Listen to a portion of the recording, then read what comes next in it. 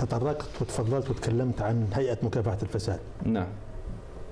بدي ذاكرتك وذاكرة كل الأردنيين.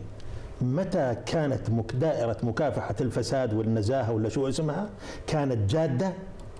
كانت جادة في مكافحة الفساد. وكل الأردنيين ها من أقصاهم لا أقصاهم يتحدثوا عن مكافحة الفساد. بل على العكس نلاحظ الفترة الماضية بأنهم فتحوا ملفات لغاز الهواملة.